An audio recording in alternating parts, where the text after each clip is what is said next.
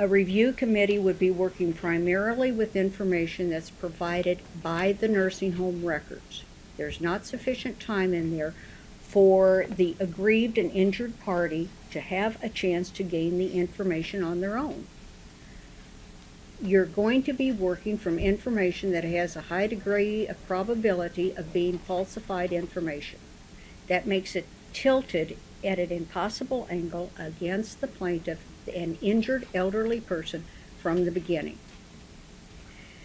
Um, you also have the, the issue of cost. The burden would be on the injured person to bear the cost of this investigation from the get-go.